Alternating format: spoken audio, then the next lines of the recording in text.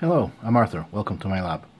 For my 3D printers, I use MKS Gen controllers and MKS TFT display boards.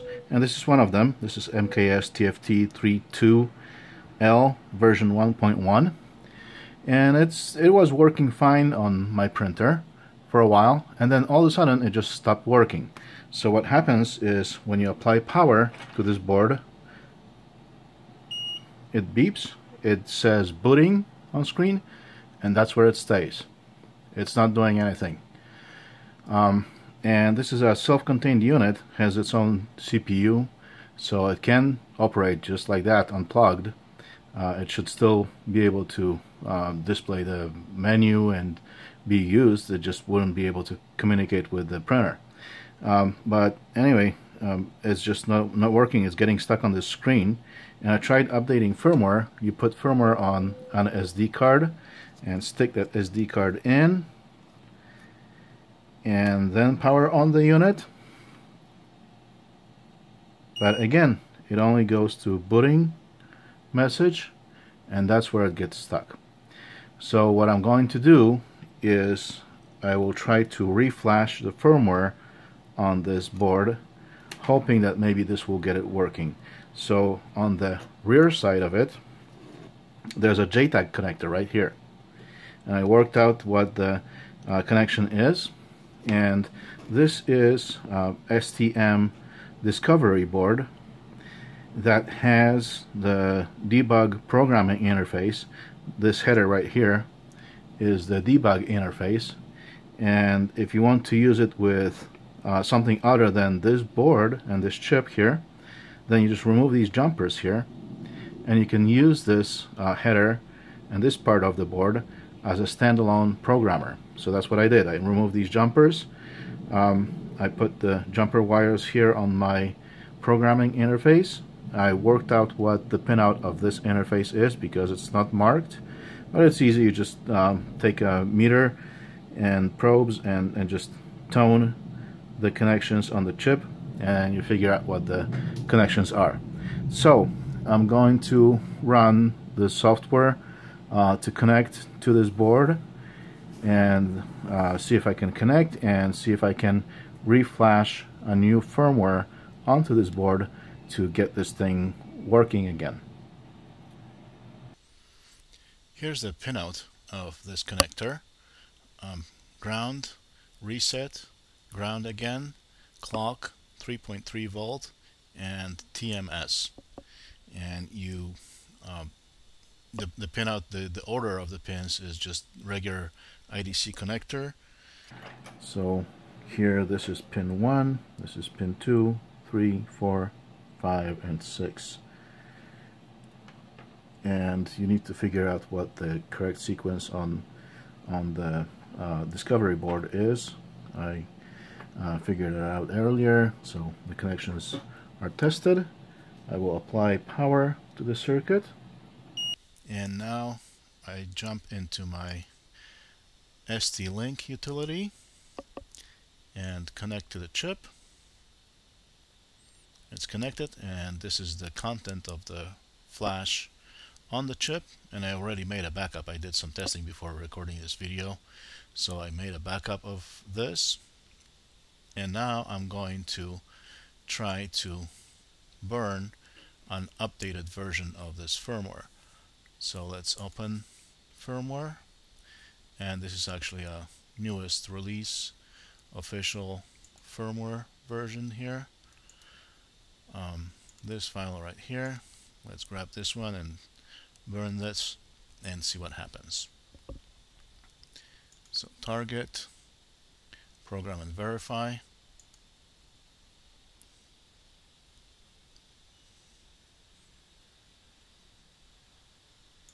Let's verify, well, while programming. Start.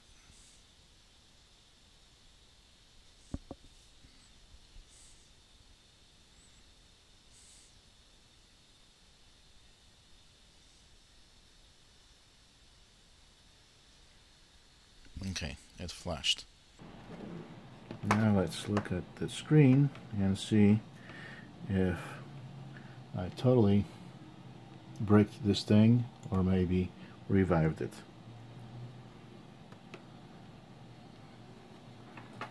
So far nothing. And now it won't even boot. So I guess um, this firmware wasn't really meant to be burnt like that. So the thing is that this board has a, a bootloader. So that thing that displays booting message, that's the bootloader that uh, gets started first, and then it uh, it looks at your SD card and looks uh, whether there is a new firmware available for upload or not. And if there is, then it uploads that firmware. But um, that firmware must be some format different than the bootloader, and I'm thinking I just uh, replaced the bootloader.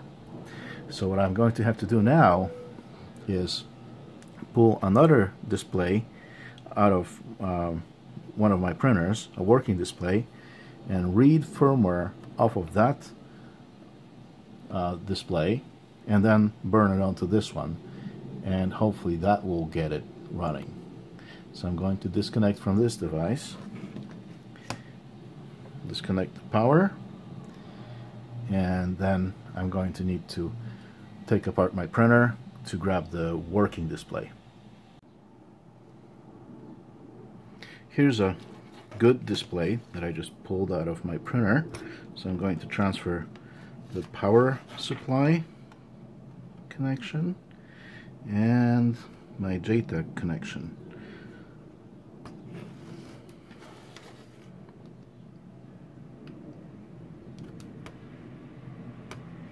Okay.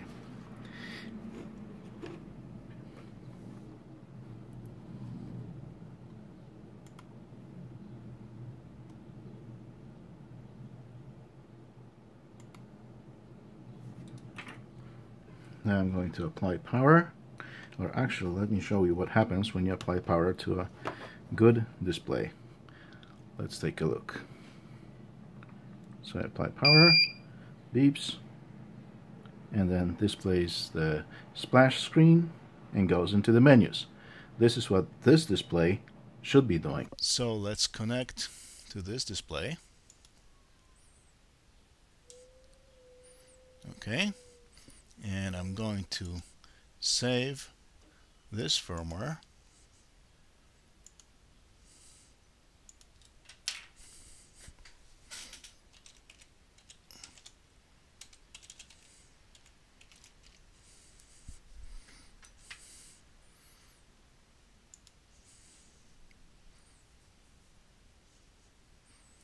So I've saved this firmware from a good display. I'm disconnecting.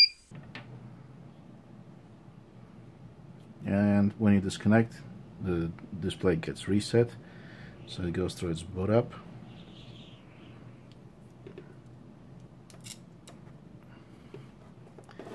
Now I'm going to unplug this display and this firmware that I just read off of this display I'm going to burn onto this one and see if that does the trick. I was going to make a custom connector here to use on this display but uh, just for one use hopefully um, I'm hoping that I don't really need to worry about that. Let's open that file that I just saved. Oops. I don't want to save. I want to open. Open. Let's compare the two. BF10, yeah, that's totally different. Although, see, this part is, is kind of the same, has the same layout, and that's why I thought that this may be a valid firmware, because see how these zeros are exactly the same. So the digits may be different because the firmware version is different, but I was hoping that still because of the general location of where these zeros are um, is the same. I was hoping that this might be a valid firmware. But anyway let's program and verify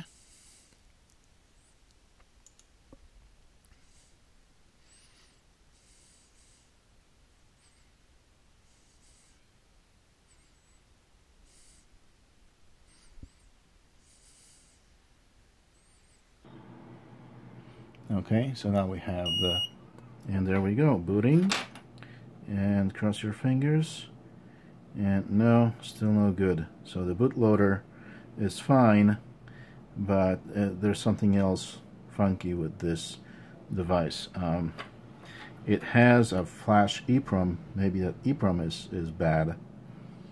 So good news is that I is that I've unbricked the display, but still, it should now load the firmware. At least it boots. The bootloader is okay. But that's pretty much it.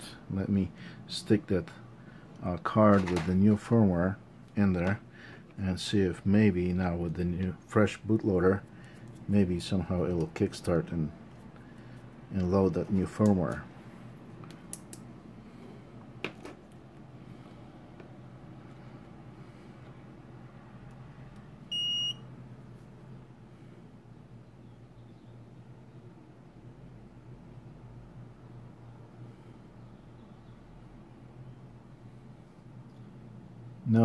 Joy.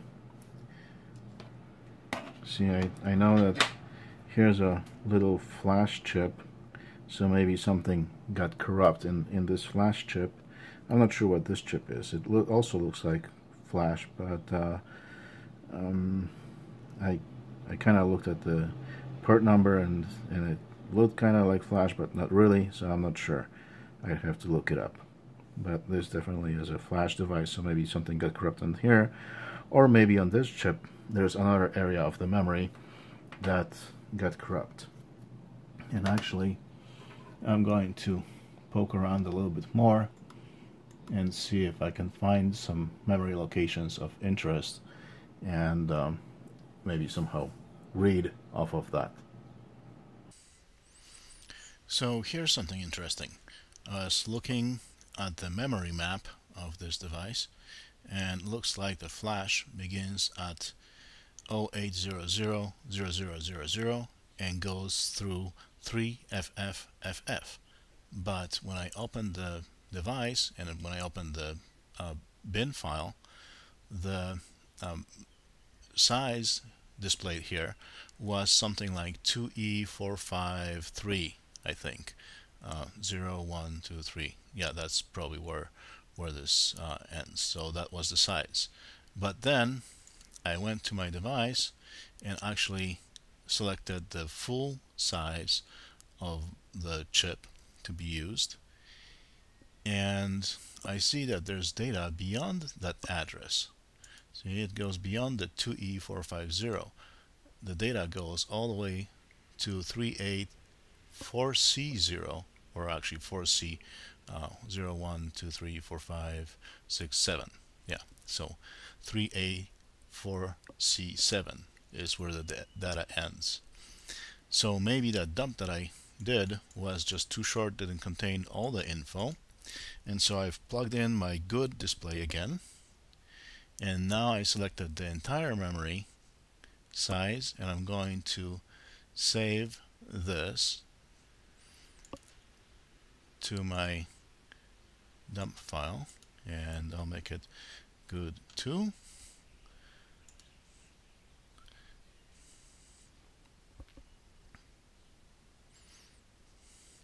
Okay, that's saved. Let's disconnect. I'm waiting for this device to complete booting because I don't want to interrupt booting in mid in the middle thinking that maybe that's what caused the problem. So that was the good display. Let's grab the bad one. Plug it in. Plug in JTAG.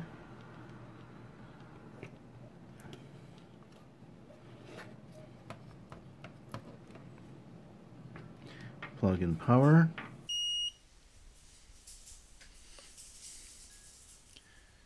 Connect to the device. Okay. Open my file.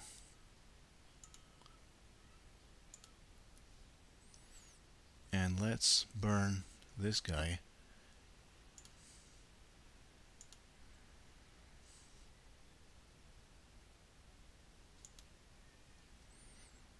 And see what happens.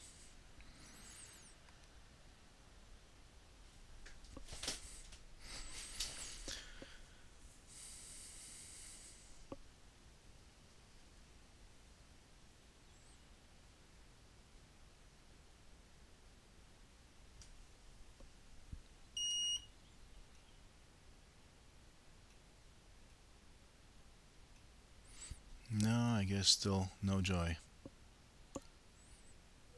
Because this file goes all the way to the end of the memory. So really that's that's all that there can be programmed into this controller. That's the entire flash. I don't really see anything else here that could be reflashed, rewritten. Uh, this boot memory is read-only, that's ROM, reserved. This is the only flash I see here. System memory, that's RAM. Uh, option bytes shouldn't affect anything. SRAM, of course, that gets deleted um, during boot up, and the rest of it is is just I/O. So there's nothing that I can think of here that would affect it. So I'm guessing it may be this flash memory on the board here. This chip right here. Maybe there's something that went funky with this guy. And really um, I could probably try to tap into this chip and read it or read it from the good board and, and write it to this one. But that would be tricky. Uh, I might have to remove it off of the PCB because if I apply power to it then that power is probably going to go into the entire board I can't selectively uh, power on just this chip. That would be tricky. Well, I could probably try to lift the power supply pin off of the PCB and then uh, apply power just to this chip. But that would be tricky. So I'm not sure if I want to start playing with that. Especially on a good board. I, I don't want to end up ruining a, a good board uh, using it as a donor. But that's probably the only option here. So I think I'm out of luck. Um, and that's that's why I kind of hate these displays. As much as I like them, because they're nice displays, I really hate them because they are closed source. Uh, you don't have the original schematic. You don't have the um, source of the firmware. All you get is precompiled firmware. And so if something goes wrong, like here with this board, I paid, um, I don't remember, 60 bucks I think for this board and it's now just a dead weight piece of junk. I can't use it. So that's that's really stupid. That really sucks that I you know I, I can't fix this board and of course I doubt I can go back to manufacturer and and uh, have them fix it. I bought this board on eBay so good luck with that. Usually once you buy something on eBay, you're, you're stuck with it. That's it. But uh, while I have this good board plugged in, let me just show you what's in the board, what uh, options, what functionality it has. So power's on and you get your um, menu and you can control the heat. So if you go in here, you can uh, select what you want to adjust the, the temperature of. So extrude 1 um, extrude 2 because this uh, board is configured for two extruders right now. And that's the maximum. If you have more than two extruders uh, too bad you only get to control two uh, and and the bed.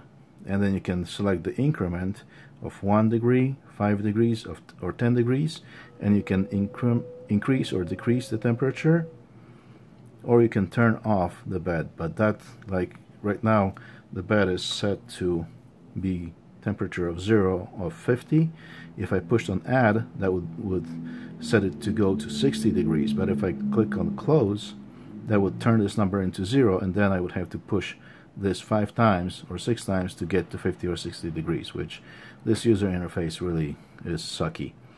Um, it's like yeah it gets the job done but it's it's cumbersome.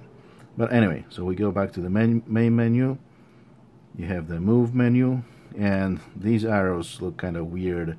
I know they tried to give you the the tri-dimensional look but so this pointing this way uh, is my X going this way? No my X is going up and down and my Y is going sideways. So why these arrows are like going at an angles here? And then Z up and down. Uh, and again you can adjust by how much you move by 1 millimeter 10 millimeter or 0.1 millimeter. Again not very flexible. What if I need to move my axis by 100 millimeter? I have to switch to 10 millimeter and press this axis 10 times. That sucks. Uh, same for uh, for filament for extrude. We'll get there in a moment. So home you can home separate axes or home all of them. So that's that's all right. At least one simple thing that works. Uh, extrude. Again you can uh, extrude in or out meaning either pull out the filament or push it in. And you adjust again what increment 5 millimeter 10 millimeter or 1 millimeter. So if you want to feed your filament into your printer and my printer happens to have a distance of um, 800 millimeter from the extruder to the hot end. So if I need to feed in or replace filament I can switch to 10 millimeter and then push the out 80 times to get my 800 millimeters and then 80 times again to push the filament in. And then you can adjust the speed slow normal fast. Mm, not big fan of that. I, I don't use this menu because it's just ridiculous. Um, you can level the bed and I don't have auto leveling so I haven't played with this. I guess these are either you you run the total auto leveling by itself or you go to the four positions that you've defined excuse me and uh, and auto level just these positions.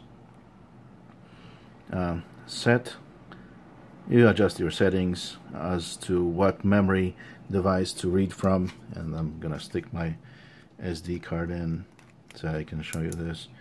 So you can choose whether you read from SD or USB which that's nice that you have both SD and USB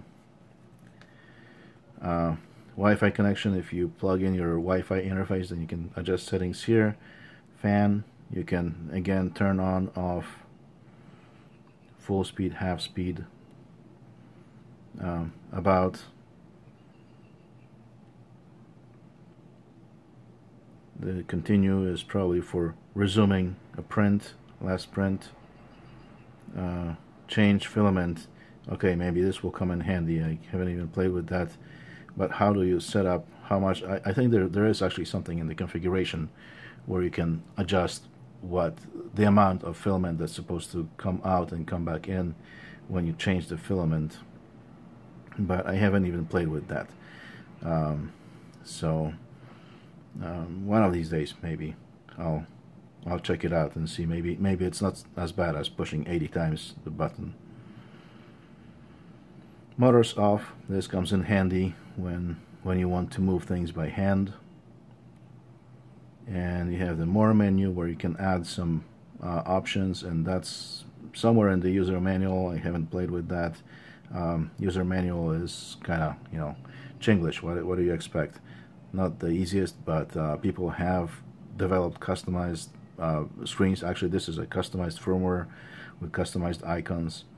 So well firmware. You can't really customize the firmware because it's not open source but you can customize the look of it at least. So you can create your own buttons. That's all the customizations that you get. And then you go into print menu and you can display your files. And what really bugs me is that it only uses short names like A.2 or, or something. So you, you don't even like if your file has a, a longer name you don't even know um, what file you're looking at. Uh, I have two versions of extruder body files here and the only reason I know which one is, is which is by these last few letters these differ so I have to remember which one is which I mean, come on, it's 2017. We have long file names. This thing should really have maybe buttons on the side, these three buttons on the side, and, and space for long file names here displayed in full. And then it gets even worse because if you select a file to print, it says print this file, but where's the file name? At least here it should display the full file name so that you know which file you're selecting. That's that's my biggest complaint about this display, I think. That you know the, the file name handling is, is really bad. Print this file. What file? I don't know because the display sucks and, and you can't even tell which which file um, we're talking about here. So again, you know, yeah, good luck figuring out uh, what you're looking for. And if you have a lot of files, you know, these three buttons take up three positions out of eight available. So I don't know how many percent is that, but that's like 40% um, of the display is wasted on just these three buttons. So if you have a lot of files in a folder, you'll be clicking on the scroll for a long time to get to your files. And that's also a pain to get back to the file that you were looking at. So anyway, uh, it's not perfect. There's a lot of room to, for improvement, but it gets the job done. It's nice. It's nicer than than uh, 2004 uh, character only displays. It's nicer than uh, 12864 uh, graphical black and white displays, it is nicer. Um, and maybe the nav navigation is even easier compared to those displays. But this is a full graphics display. It could be a lot better. And the community could make this thing a lot better if only the source was released and people who are interested in this were allowed to work and cooperate on making this source better just like with uh, any open source project. You know, we have a much better uh, 3D printing firmware these days, thanks to contributions of all the people who worked on that firmware because it's open source. Same goes for many other things. Uh, if this firmware for this device was open source, people would contribute, would make it better, it would be awesome. But no, the manufacturer is greedy, they want to prevent others from copying their display like it's some rocket science like no one could like reverse engineer this thing and and make a copy. I'm, I'm thinking that probably what I'm holding in my hands is a copy. Um, so no that that's a stupid argument. But that's that's their argument for not releasing the source.